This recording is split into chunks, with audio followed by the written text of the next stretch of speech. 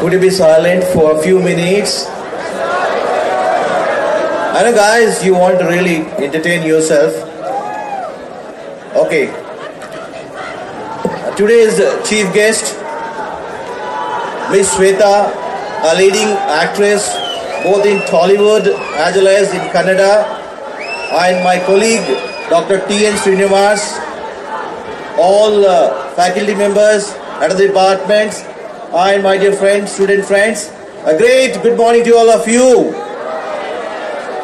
Indeed, it's a wonderful a moment for all the students of AMC campus for organizing this extravaganza Colosseum, a kind of platform where all the students can showcase their talent, skill, as well as their outreach abilities in the area of culture as well as skill sets.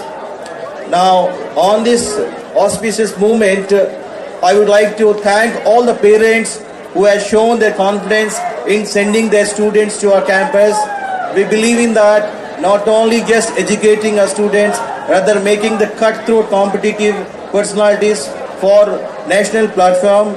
And in this age, our chairman and vice chairperson always has been in a great support for all of us in developing this campus. I hope that in future course of time we'll do lot of we'll bring a lot of laurels with your help and with your parent support and all staff members. And I wish all the great success to everybody. Thank you. Have a nice day.